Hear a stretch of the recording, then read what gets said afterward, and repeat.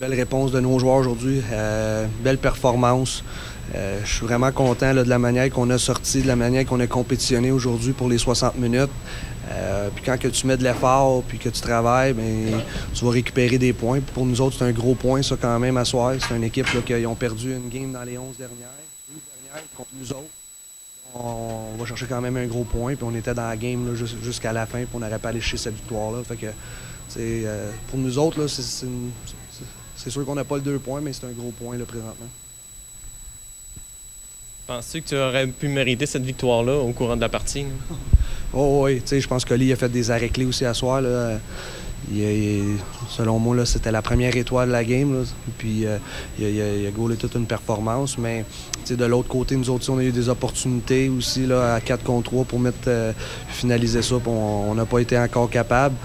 Euh, mais je pense que c'est une bonne équipe au bord, ils ont, de l'attaque. Puis euh, quand on leur a donné le jeu de puissance sur un, mauvais changement, ça, ça nous a tués. Euh, c'est pas une bonne, punition, ça.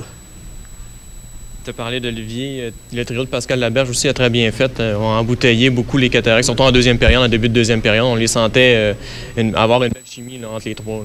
Oui, je suis d'accord, mais je pense que nos quatre lignes à soir, il y avait du jump. Ils, ils patinaient, ils bougeaient leurs pieds, on était agressifs, on était ça à POC. Des fois, peut-être un petit peu trop. Puis là, on se retrouvait que nos défenseurs aussi voulaient s'impliquer dans, le jeu. Puis là, on donnait des surnoms à cause de ça, mais c'était vraiment pas à cause d'un manque d'effort. As-tu aussi euh, des détails sur la raison pour laquelle Anthony Gingras a joué cet après-midi?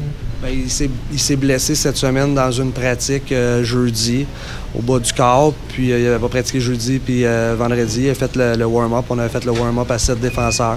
Puis il ne se sentait pas apte à 100% Et puis avec le, staff et Étienne, on, a décidé qu'il ne jouerait pas à cause de cette blessure-là.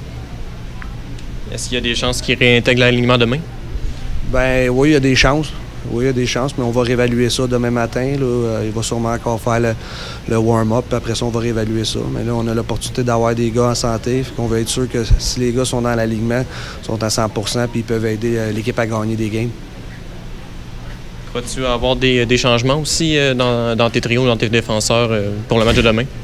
Ça fait 10 minutes que la game est finie. J'ai même pas fait mon analyse de la game encore. Que on va aller dans mon bureau, on va réévaluer, on va parler avec Étienne, s'il n'y a pas rien qui, sort de, la game d'asseoir, blessure.